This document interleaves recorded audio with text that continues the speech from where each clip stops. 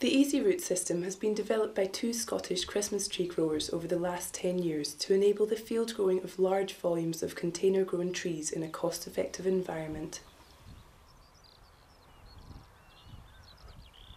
Easiroot pots are available in a range of sizes between 7.5 and 15 litres.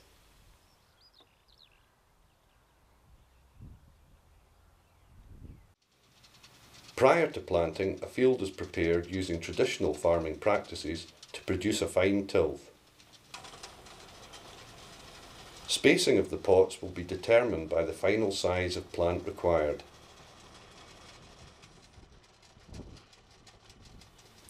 The auger system will produce around 5,000 drilled holes per day.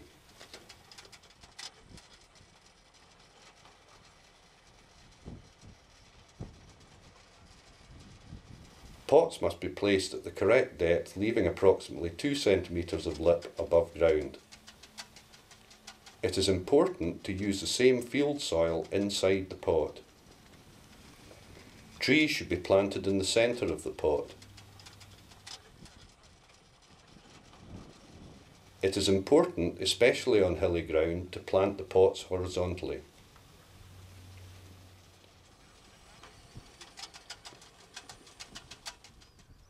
Trees are grown in blocks to allow the use of tractor mounted equipment.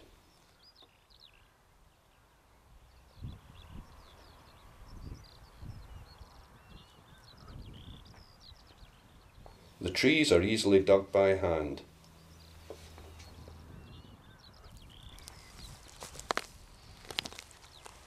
A man will typically dig up to a thousand trees per day.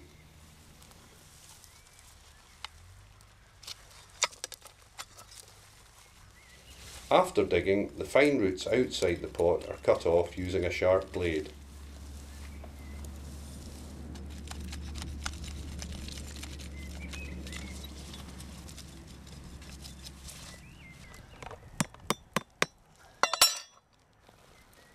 On the outside of the root ball, the root calluses can easily be seen.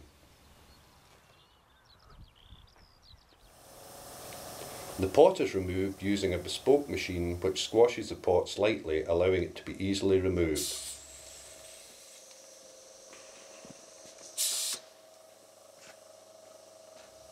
Because of the high rubber content of the pot material, little damage is done during pot removal. The pots can be saved and reused for a second and third growing cycle. Trees are sold direct from the field or are grown on for a further one or two years in a nursery environment.